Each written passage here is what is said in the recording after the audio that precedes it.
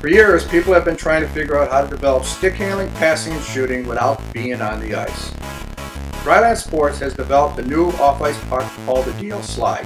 The DL Slide is designed to simulate a real puck on the ice while working off the ice.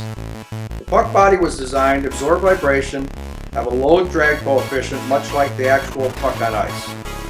The newly designed pegs are made of a material that allow the puck to glide along the ground without bouncing, flipping, and will not break like its predecessor, the Z-Puck. The newly enhanced peg design allows the actual puck body to remain untouched by your stick or the ground, which is key to simulating an actual puck on the ice.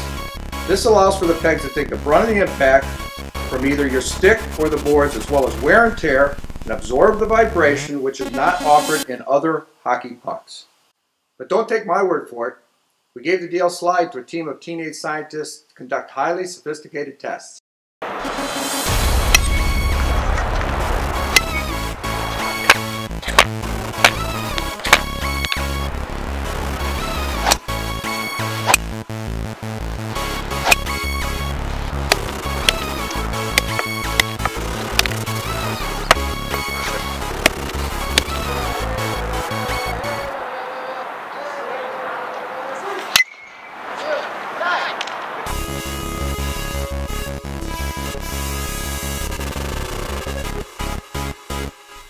In conclusion, the DL slide is the best part.